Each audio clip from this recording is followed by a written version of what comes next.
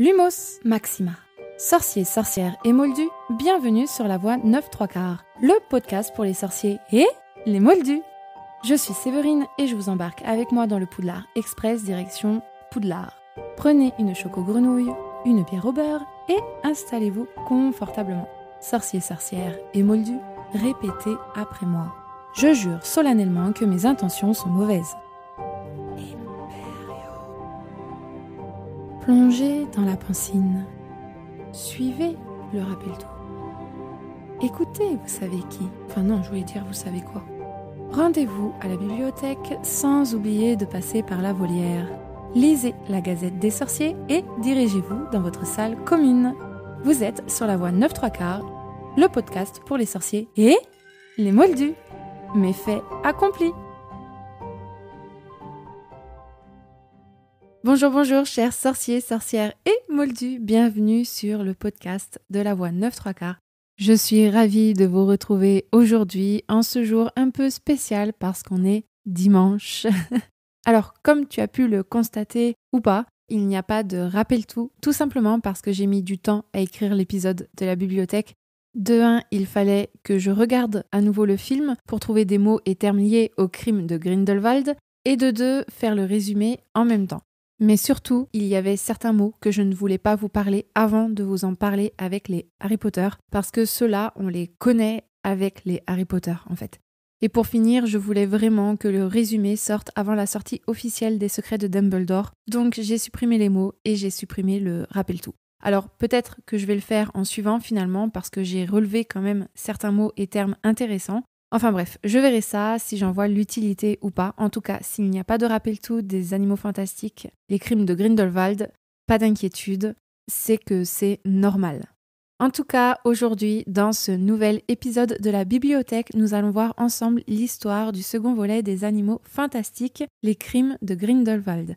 Alors, si jamais tu veux être vraiment en raccord, je t'invite à écouter la bibliothèque des animaux fantastiques où je résume le premier volet du film. Donc, comme ça, tu seras en raccord avec cet épisode. Je te mets le lien de l'épisode dans la description. Alors, attention, je préfère vous prévenir avant de commencer parce que si tu souhaites voir le film alors que tu ne l'as jamais vu et que tu ne veux pas connaître l'histoire, eh bien, arrête de suite d'écouter l'épisode parce que va y avoir du spoil total. La fille qui casse l'ambiance directe, elle demande à ses auditeurs d'arrêter d'écouter le podcast. Par contre, si tu veux connaître l'histoire parce que le film ne te tente pas, eh bien, ne pars pas et découvre l'histoire avec moi. Et pour toi qui connais le film et l'histoire par cœur et que tu adores les animaux fantastiques, eh bien, t'es obligé de rester avec moi. bon, en vrai, vous faites vraiment ce que vous voulez, bien évidemment. Vous êtes juste prévenus.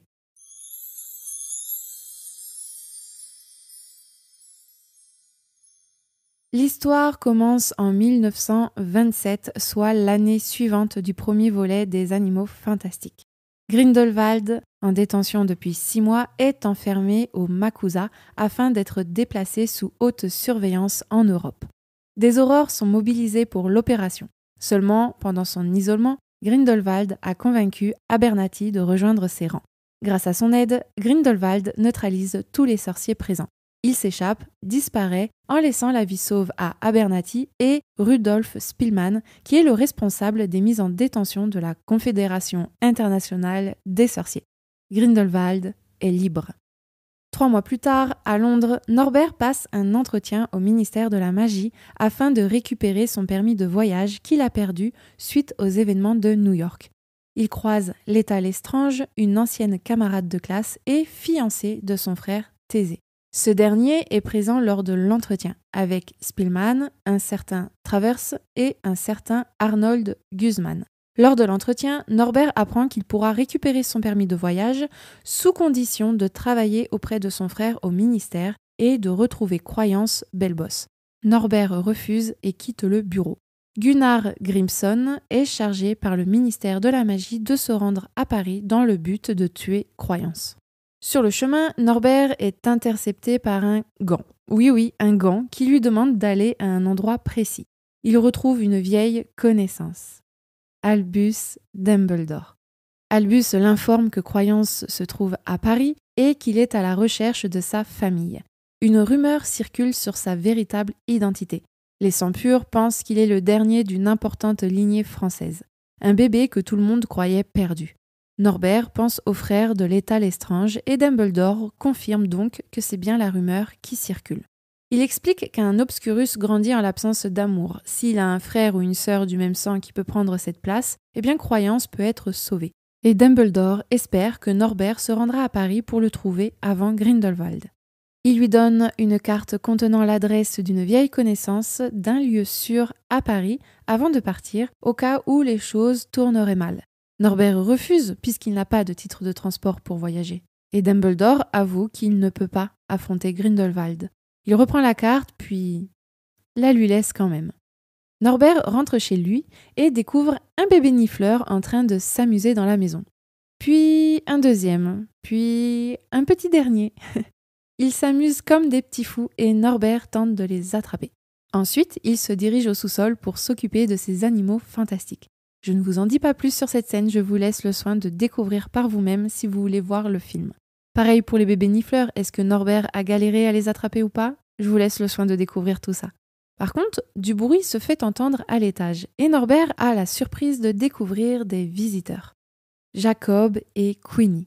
Il apprend que Tina et Queenie ne se parlent plus et que Tina fréquente un aurore, depuis qu'elle a appris dans un article mensonger les fiançailles de Norbert et de l'état Lestrange.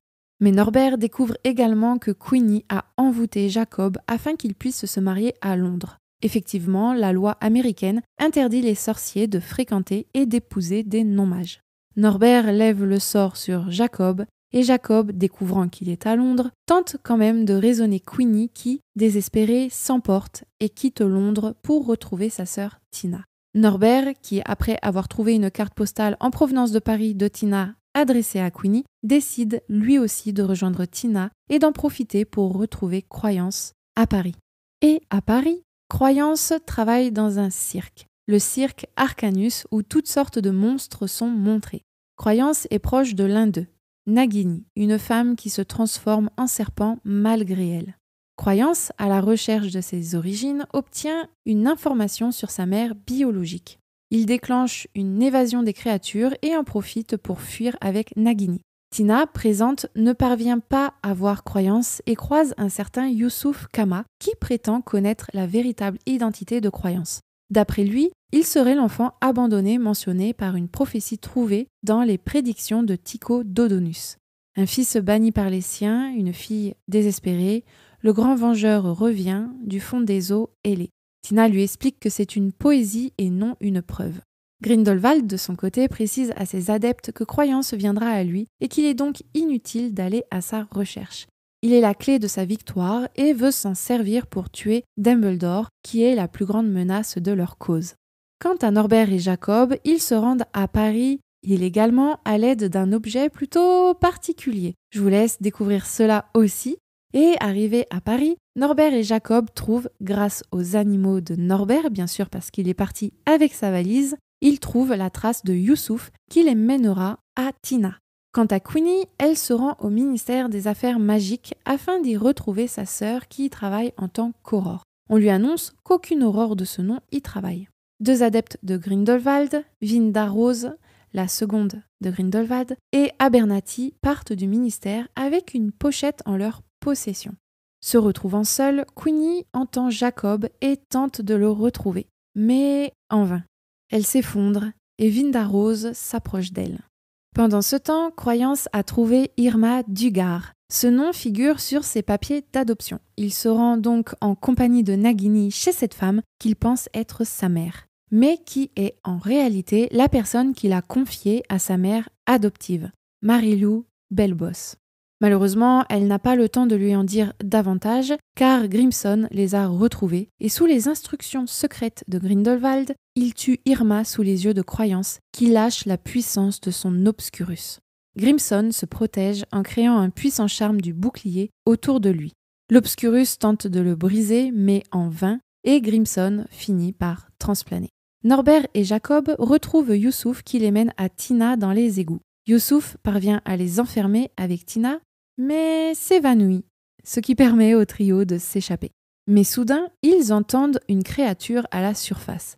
C'est le Zoubou, l'une des créatures du cirque qui est dans la nature, et Norbert se charge de l'attraper d'une façon originale, je dois dire, comme d'habitude. Et à ce moment-là, toute personne nostalgique de la saga Harry Potter verseront une petite larmichette parce que ce moment est juste magique, parce que nous nous rendons à Poudlard. Effectivement, Traverse, chef du département de la justice magique, je l'ai dit, je crois un peu plus haut, je ne sais plus, accompagné de plusieurs aurores, mais également de Thésée Dragono et de l'État Lestrange, se rend à Poudlard pour rencontrer le professeur Dumbledore. Le cours de Dumbledore est interrompu pour évoquer avec lui les fameuses prédictions de Tycho Dodonus. Donc prédictions qui désigneraient un fils banni, donc selon lui l'obscurial, une fille désespérée et un vengeur que Traverse identifie comme étant Norbert Dragono sous les ordres de Dumbledore. Traverse lui demande également de combattre Grindelwald, mais Dumbledore insiste en répondant qu'il en est incapable. Traverse décide alors de le surveiller en lui mettant des bracelets à ses poignets, des sortes de menottes magiques qui lui permettent d'être informé de tous ses sortilèges lancés. Il lui interdit également d'enseigner la défense contre les forces du mal. L'État, qui s'est éclipsé dans une ancienne salle de cours, se souvient de ces moments passés à l'école, et plus particulièrement d'un cours de défense contre les forces du mal donné par le professeur Dumbledore il y a 14 ans de cela. Un cours sur les épouvantards. On y retrouve les jeunes Norbert et l'État. Norbert passe et affronte la créature qui s'était changée en un bureau de travail. L'État, quant à elle, est terrifié à l'idée d'affronter la créature qui prend la forme d'un petit être flottant à l'intérieur d'un voile blanc. De retour en 1927, l'État est rejointe par Dumbledore. Celui-ci évoque avec elle les rumeurs sur la mort de son frère Corvus, qui serait la source d'une souffrance supplémentaire pour la jeune femme. Il mentionne douloureusement la mort de sa propre sœur en conseillant à l'État de ne pas s'enfermer dans la solitude et le regret comme lui-même l'a fait. De retour à Paris, Queenie est recueillie par Vinda Rosier et la présente à Grindelwald qui souhaite qu'elle le rejoigne. Il lui explique qu'il a pour but d'offrir à tous les sorciers la liberté de vivre au grand jour et d'aimer librement. Puis, il laisse Queenie partir librement. Norbert, Jacob et Tina se sont réfugiés à l'adresse donnée par Dumbledore. Youssouf est inconscient à cause d'un parasite qu'il a attrapé dans les égouts. Mais Norbert le lui enlève. Les retrouvailles entre Tina et Norbert sont plutôt glaciales et Tina est distante. Elle part pour se rendre au ministère, mais elle est rattrapée par Norbert sous les bons conseils de Jacob. Tous deux se rendent au ministère des Affaires magiques afin de trouver des informations aux archives généalogiques qui leur dira où se trouve Croyance. Dans la rue, Grindelwald appelle ses disciples. Il rejoint Croyance sur les toits de Paris qui s'occupe d'un petit oiseau trouvé et lui donne une carte contenant l'endroit de la preuve de sa véritable identité au cimetière du père Lachaise. Jacob, resté à l'adresse indiquée par Dumbledore, fait la rencontre de leur hôte, Nicolas Flamel, un alchimiste et ami de Dumbledore. Grâce à une boule de cristal, Jacob voit Queenie qui serait au caveau des Lestrange au cimetière du Père Lachaise. Jacob remarque la disparition de Youssouf et part à la recherche de Queenie. Nicolas Flamel est inquiet car une menace approche. Au ministère de la Magie, les aurores dont Thésée apprennent que le rassemblement de Grindelwald aura lieu le soir même. Thésée annonce à l'État qu'il pense que Croyance est le frère disparu de l'État et elle affirme que c'est faux. Thésée la rassure en disant que les archives le prouveront. Norbert, qui est rentré au ministère sous l'apparence de son frère Thésée, retrouve son apparence. L'alerte est donnée parce que Norbert est recherché. Effectivement, il lui est interdit de voyager à l'international. Il est également vu par Thésée et ils sont poursuivis par celui-ci. Tina et Norbert parviennent à se débarrasser de lui et se dirigent aux archives. Quant à Abernathy, il dépose une boîte dans le caveau des Lestrange. Jacob arrive au cimetière et cherche le caveau. Et en y entrant, ce n'est pas Queenie qu'il trouve, mais Youssouf le menaçant de sa baguette magique. De retour aux archives du ministère, Norbert tente tant bien que mal de dire à Tina qu'il n'est pas fiancé à l'État et lui fait part de ses sentiments, mais à sa manière, disons maladroitement. L'État arrive également pour récupérer les archives généalogiques de sa famille afin de prouver que son frère est bel et bien mort. alors que la rumeur dit que c'est croyance. Elle y découvre une lettre indiquant qu'elles ont été transférées dans le caveau de sa famille, mais découvre également Norbert et Tina cachés non loin de là. Tout d'un coup, ils sont attaqués par des matagos, des créatures qui gardent le ministère de la magie. Alors que tout semble perdu pour eux, Norbert parvient à sortir tout le monde du ministère et à se rendre au cimetière. Là-bas, Norbert, Tina et Leta retrouvent Youssouf, Croyance, Nagini et Jacob. Youssouf est sur le point de tuer Croyance et Croyance, voulant connaître son histoire, demande à Youssouf de lui expliquer avant de mourir. Youssouf révèle alors que ses parents, Mustapha Kama, d'origine sénégalaise, et Lorena, étaient profondément amoureux. Ils connaissaient un homme très influent, un homme issu d'une famille française, l'Estrange. Il désirait la mère de Youssouf et l'a enlevée pour la séduire et ainsi vivre avec lui. Sa mère est morte en donnant naissance à une petite fille. L'État. À sa mort, le père de Youssouf l'a chargé de venger sa famille, de tuer la personne que l'Estrange aimait par-dessus tout. Or, ce n'était pas l'État, il ne l'a jamais aimé. L'Estrange remarié a eu un autre enfant avec une autre femme, un fils du nom de Corvus. Là, il a découvert ce qu'était l'amour, et l'estrange qui a découvert la vengeance de Youssouf décide de cacher son fils et de l'envoyer en Amérique avec l'État et leur domestique Irma Dugar. Youssouf révèle à Croyance qu'il serait son demi-frère, Corvus. Or l'État avoue que c'est impossible, car lors du voyage en bateau, l'État qui n'était qu'une enfant échange Corvus avec un autre bébé moins bruyant, mais le bateau fait naufrage et elle n'a pas le temps d'échanger à nouveau les bébés. Corvus n'a pas survécu et se noie dans la mer. Le corps flottant dans le voile dont l'épouvantard a pris la forme était Corvus. Les archives magiques de l'Estrange prouvent que Corvus est bel et bien décédé. L'État ignore le nom du bébé qu'ils ont sauvé, laissant croyance désemparée et sans indice sur sa véritable identité. À ce moment-là, une porte s'ouvre dans le caveau, et de ce fait, ils découvrent le lieu du rassemblement de Grindelwald. Jacob y retrouve Queenie, mais elle refuse de partir avant d'avoir écouté Grindelwald. Norbert et Tina comprennent qu'il s'agit d'un piège et tentent de trouver un moyen pour sortir de là. Ils sont rejoints pendant le discours par Thésée et ses aurores qui leur précisent qu'il ne veut aucune violence.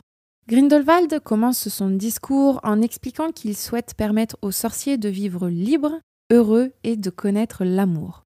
Il prévient qu'une seconde guerre mondiale est imminente et qu'il faut combattre la haine et l'arrogance des Moldus avant qu'ils ne retournent leurs armes contre eux, pour le bien de tous. Il annonce que des aurores sont présents et les invite à les rejoindre tout en les décrivant comme des sorciers violents, des tueurs et des tortionnaires. En jouant ainsi avec la colère des sorciers de ses rangs, il provoque le meurtre d'une sorcière par l'un des aurores présents. Grindelwald s'approche de la jeune femme, puis disperse alors l'assemblée après avoir chargé ses fidèles de transmettre son message. Pendant ce temps-là, le nifleur de Norbert était sorti de la valise et s'est approché de Grindelwald lorsque celui-ci était près de la jeune femme tuée. Avant que les aurores ne l'attrapent, Grindelwald lance un sortilège de flammes magiques autour de lui afin que les personnes encore présentes et ses fidèles puissent le rejoindre en les traversant. Il perd d'ailleurs l'un d'eux qui meurt en traversant les flammes. Plusieurs aurores tentent de s'enfuir, mais ils sont rattrapés par les flammes de Grindelwald. Croyance, persuadé que Grindelwald connaisse sa véritable identité, est le premier à le rejoindre. Nagini tente de le retenir, mais en vain. Croyance a traversé le cercle. Queenie, convaincue par Grindelwald, tente de persuader Jacob, mais Jacob refuse de la suivre et ne parvient pas à la retenir. Queenie traverse les flammes difficilement et rejoint Grindelwald avant de partir. Comprenant que personne d'autre ne le rejoindra, Grindelwald attaque Norbert et Thésée Dragono. L'État intervient, fin de rejoindre Grindelwald et tente de le tuer pour faire diversion. Elle regarde les deux frères et leur dit Je t'aime avant d'être tuée par Grindelwald. Après le sacrifice de l'État, Nicolas Flamel rejoint le groupe restant au Père-Lachaise et les aide à contenir le sortilège de Grindelwald, qui a pris la forme de plusieurs créatures volantes, un peu comme des dragons, menaçant la destruction du cimetière, mais également celle de Paris. Une fois le sortilège vaincu, le groupe est anéanti par les pertes, tandis que le nifleur de Norbert, blessé, a dérobé une petite fiole mystérieuse que portait Grindelwald sur lui pendant le discours. Le petit filou s'était donc échappé de la valise pour lui prendre. À Poudlard, ils retrouvent tous Dumbledore et Norbert lui fait part de la fiole qui, selon lui, contient un pacte de sang liant Dumbledore et Grindelwald, ce qui les empêche de s'affronter. Dumbledore, étonné, confirme et pense pouvoir le détruire. Chez Grindelwald, au château de Normangard, en Autriche, Grindelwald est informé par Queenie que Croyance doute de son choix et qu'il doit être prudent avec lui. Grindelwald lui offre alors une baguette magique et lui révèle son identité.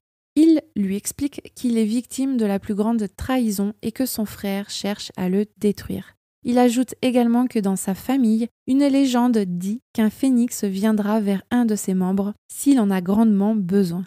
Pour preuve, l'oiseau de croyance se transforme en un magnifique phénix rouge. D'après Grindelwald, croyance serait Aurelius Dumbledore.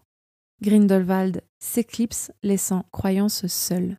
Croyance, suite à cette découverte, fait exploser le flanc d'une montagne avec sa baguette magique.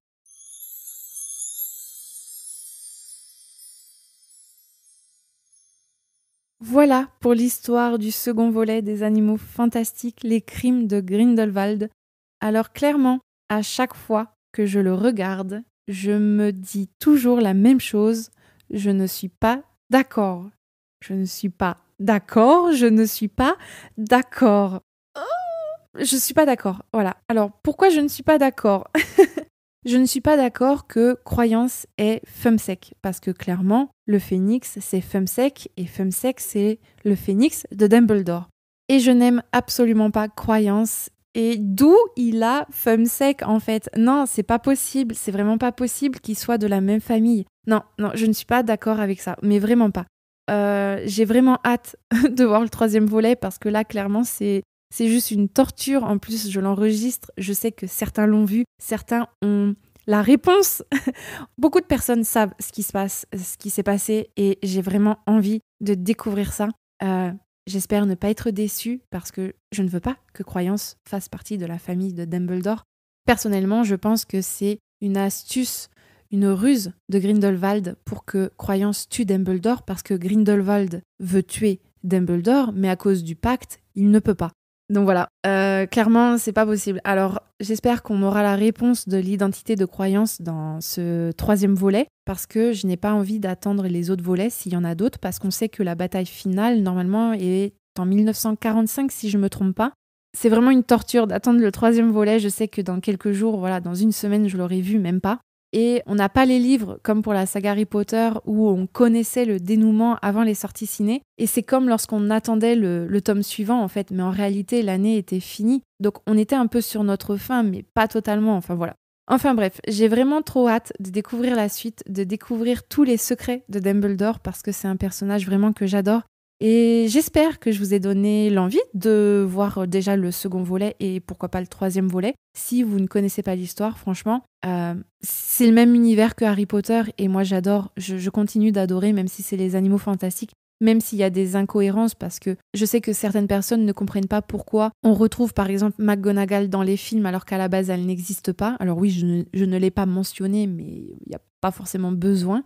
Alors après, pour euh, en revenir au phénix, effectivement, Dumbledore dit à Norbert qu'un phénix viendra vers un Dumbledore quand il en aura grand besoin.